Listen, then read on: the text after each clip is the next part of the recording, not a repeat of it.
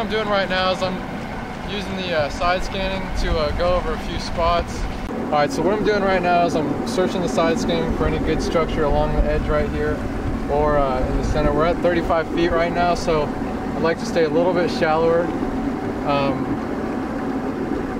so maybe up in these trees would be a good area. You can see the creek channel running through here. I should just change to a uh, Strike King 5XD in the shad color.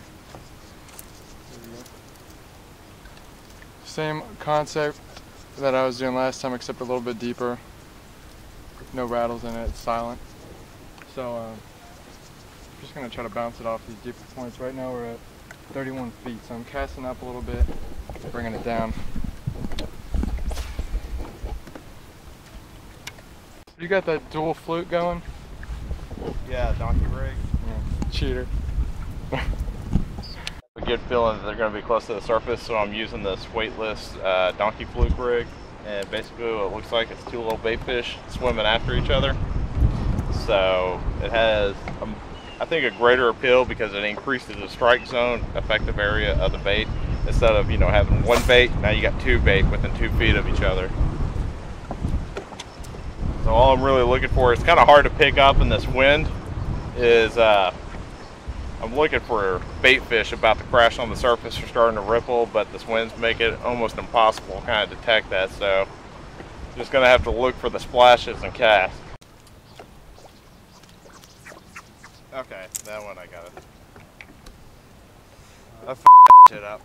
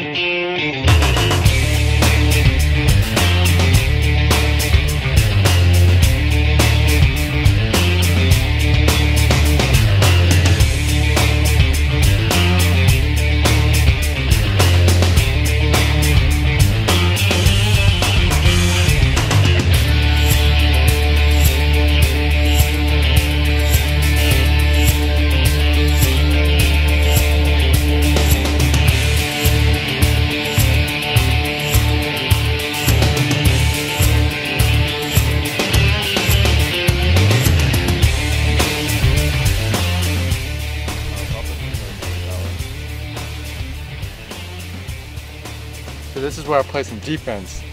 You ain't coming near my spot. Mm-hmm.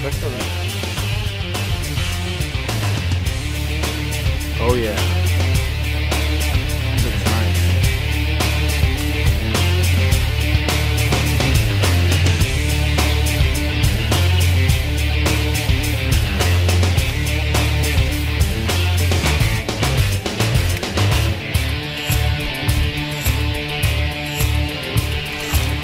Oh baby. Got it.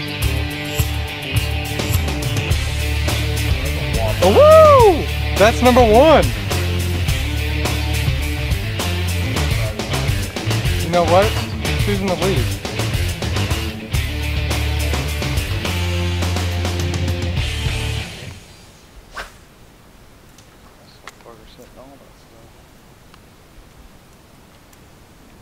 You can just see how Ben wants one of those.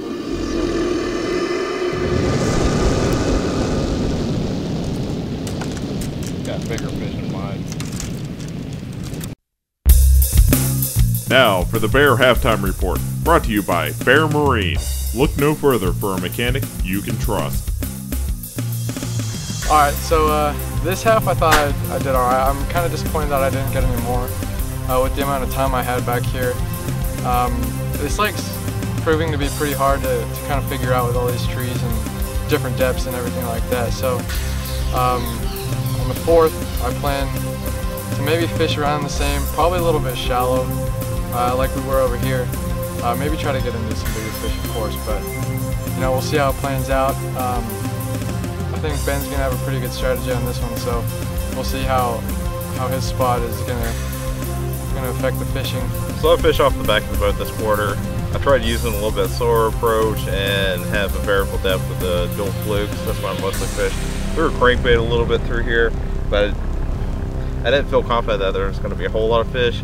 Um, but it was kind of difficult to find them just because the uh, variance in the water depth. I mean, the sheer cliffs or the sheer rock sides dropped to about 30 feet relatively quickly.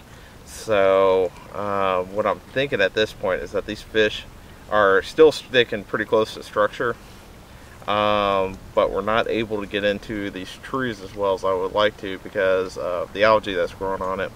So my strategy for the next quarter is I'm going to look for main lake points with large boulders on them or broken up sections uh, instead of riprap and hopefully they're chasing shad around those